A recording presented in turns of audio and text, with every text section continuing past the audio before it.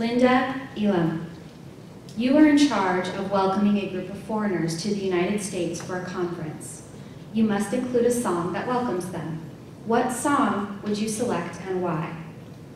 You are in charge of welcoming a group of foreigners to the United States for a conference.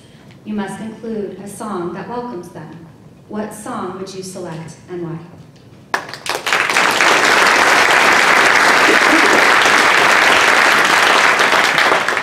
Welcome to America.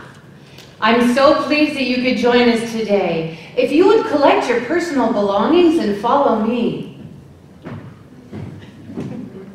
If you look out this window here in the airport terminal, you'll see the lovely buildings of New York City. The iconic Empire State Building. You'll see the Holland Tunnel going this direction. And over there, yes, that's her, the Statue of Liberty. Oh, say, can you see? I really am an opera star in my former life. Let me introduce myself. I'm Ethel Merman. Ethel Merman had a way of reaching out to a crowd that was so magnificent. She wasn't beautiful.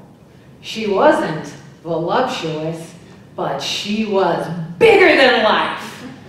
I love Ethel Merman. If I got off the plane and I didn't understand a word of English, that's who I'd want to see. That short, feisty little redhead with a voice as big as the moon. There's no business like show business. Oh, Ethel Merman, thanks for meeting my flight.